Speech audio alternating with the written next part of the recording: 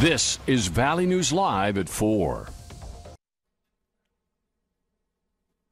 Here's a look at today's top four at four. A man is facing several charges after a bizarre incident in Moorhead over the weekend. Police got a call after four on Saturday saying a man pointed a gun at a moving car. The victims told police that they were pulling out of a grocery store parking lot and were forced to stop behind a car in the middle of the street. A man walked up to the victim's car and pulled a gun on them before getting into the suspect's car and speeding away. When police stopped it, the suspect pointed the gun at them and ran off. 29-year-old Vance Jourdain was caught and arrested. He faces up to 39 years in prison. And police in Grand Forks are looking for a man involved in a fight over a stolen car.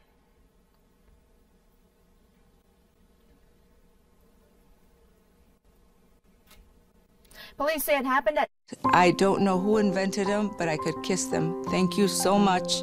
It was like parking lot and tried to block it from pulling out.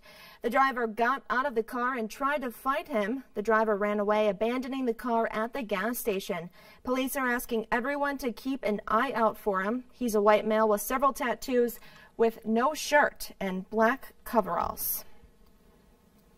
And a Moorhead man charged with assault who reportedly told his girlfriend that she doesn't deserve to live is out on bond. 31-year-old Jordan Schweitzer is charged with second-degree assault after trapping his girlfriend in a room and threatening to kill her.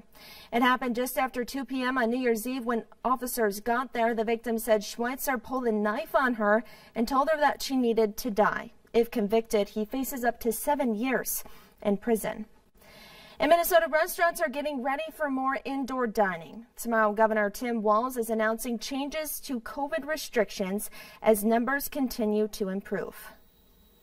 Walz's office says no other details are being released at this point. The governor put a pause on indoor dining across the state on November 20th as a part of a four-week dial-back plan. He extended it on December 16th, but did allow restaurants and bars to have outdoor in-person service. And that wraps up today's Top Forward 4. Now let's get a first look at our weather with Chief Meteorologist. Hey, Hutch. Callie, hello. And we had a great start to the day and a foggy one for many of us as we got out the door today in the FM area. We had those low clouds and fog kind of lingering throughout our day as we started out in the teens. The radar shows we have some snow to contend with that's developing out to the west. So most of our area pretty snow free right now, as we talked about in the forecast last night. Things are timing out pretty good. Ellendale, Oaks, and all the way out towards Napoleon, Wishek, a chance for some flakes developing there and this is expected to spread our way tonight. Temperatures in the 20s north and east, where Baudette is at 23, 24 in Grand Forks. It's 33 degrees this hour in Jamestown. Once again, as advertised, about a 30 degree day for most. Your planner for tonight shows snow free conditions for most of the evening here in Fargo, and our best chance of snow increases in the overnight hours, so you can get your running around done tonight. Grand Forks, no threat of snow, just a cloudy night and steady temperatures in the low 20s. Callie, I'll have details in uh, an hour by hour style on the track and timing of those snowflakes. The most impacted area will be southeast North Dakota, where we have shovelable snow of one to five inches expected. I'll have all that you need to know on that in a few minutes. All right, we look forward to it. Thanks, Hutch. And we've got an update for you from Sanford about the coronavirus vaccine rollout. Sanford's vice president and chief medical officer says things are going well. All shots have gone to the hospital staff and are now getting their second doses. There have been some side effects similar to other vaccines like lightheadedness, fevers, and headaches. Over 22,000 people have been vaccinated in North Dakota, but there's still a lot of misinformation. Dr. Doug Griffin wants you to know that the vaccine does not alter your DNA, cause infertility, or give you COVID 19. He says the vaccine is so safe that he's urging his own family to get it. I'm uh, eager to get my second dose today uh, and would not do it. Any of my family members, uh, even if one of my four daughters was pregnant, I would have them ask them to get the vaccine. They're all adults to make their own decision, but I have no uh, I have no qualms about any anybody that I know and love dearly receiving the vaccine. Dr. Griffin also says they're unsure if the vaccine will need to be taken every year. And you may be getting a surprise in the mailbox if you live in the city of West Fargo. A city spokesperson says every resident is getting a $25 gift card for any business in city limits. The goal is to help boost residents and businesses that are struggling during the pandemic. People are excited um, to support local businesses as well, which we're really excited about. So I think I think it's well received. The money is coming from COVID-19 CARES funding relief funds. So this isn't money that we're drawing from property taxes or sales tax or, or things like that. It's money that's been set aside to provide relief. You can also use the card for things like gas or groceries, but you can't use it on the City of West Fargo utilities and municipal services. And police in northwestern Minnesota say they're seeing more counterfeit $20 bills going around. Thief River Falls police got this fake bill yesterday. It says copy money in multiple places, but at first glance, it looks like the real thing.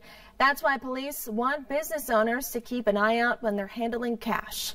Police in Polk County are also investigating a fake $20 bill given to the Ultima Bank in Fosston.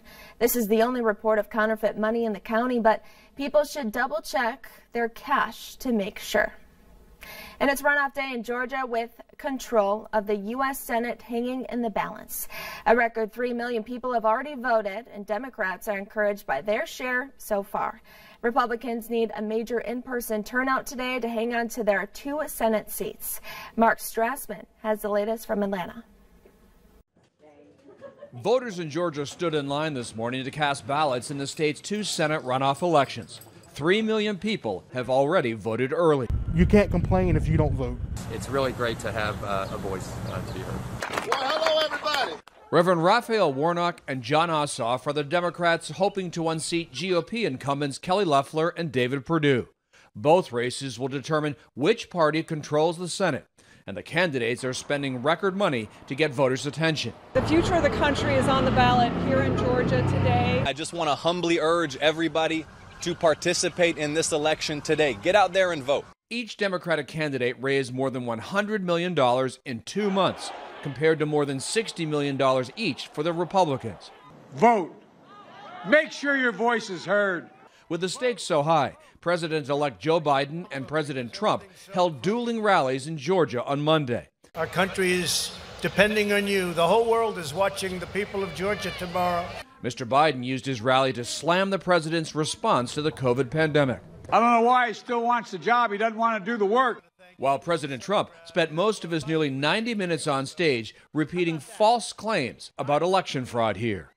There's no way we lost Georgia. There's no way. The rigged, that was a rigged election. Both races are considered close. Democrats must win both to seize control of the Senate. Mark Strassman, CBS News, Atlanta. It could be days before all the votes are counted and winners are declared. A movie company, United Van Lines, has released its 44th annual National Migration Study. It found Americans moved westward and south and the COVID-19 pandemic factored into many of those decisions. Topping the list of locations moved away from was New Jersey, which has held the spot for the past three years. North Dakota was number seven on that list, with 57% of moves taking people away from the state. More than a quarter of Americans moved to be closer to family. Minnesota was the top destination for those movers.